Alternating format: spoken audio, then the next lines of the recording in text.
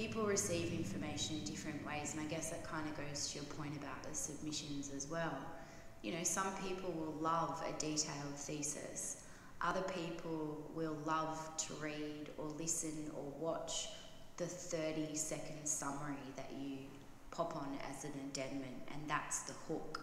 A parliamentary inquiry that tells everybody what everyone knows already that it's toxic isn't actually going to go very far. I would suggest, in terms of how to reduce 6,000 words to something, would be to think about an executive summary that is a set of questions that will require the government to answer because it's a parliamentary inquiry with information that is not currently in the public domain, that journalists and others will be able to say, ah, that's new, that's something I didn't know, I'm going to follow the rabbit, that rabbit down a hole. So I would really encourage people to think of their executive summaries as a series of questions that require answers from within the government about process and about timelines, about decisions, etc. I want to touch on the submission stuff first. We can't know. To be to be really frank about it, we genuinely cannot know. I've sat on parliamentary inquiries, I've seen the parliamentary staff do it. What we know is that it's crucial that it speaks to the terms of reference.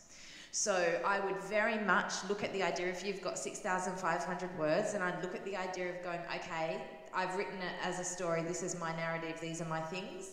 And I would look back to the terms of reference and I'd use a nice cut and paste or whatever job to pull them into how they relate to those terms of reference and make those connections because we know that that is crucial. We know that it is possible for them to not sort of deal with things that are not explicitly related to that. And so I think that would be my one tip. The more detail, the better. My guess is if you've been involved in this campaign for a while, you've probably made a couple of submissions already to things. You've probably ranted about it multiple times on Facebook. You've probably made submissions or email complaints or other things. So actually gathering the information you have already put together in those forums, that you've already done in those submissions, that you've put on your Facebook, and pulling those things together in line with the terms of reference is what I would encourage. The human cost cannot possibly be taken into um, account because you can't yet measure what the human cost will be. And I think one of the questions that you could ask as part of the submission is what instruments and what things are in place to not only understand what the baseline impact is now, but what are the predicted future scenarios going to be. The panel agree with me that governance is a very broad term and it certainly includes everything from the legislation governing the project, which is the critical state infrastructure. Governance can cover a lot of things, including failed complaints processes. Complaints processes are definitely part of governance. To the question of governance, I would say absolutely. We can demand a, the broadest possible interpretation of something like that. Um, you know, just at, within Inner West Council, for example, I think our costs now of addressing issues with WestConnex is running to over a million dollars.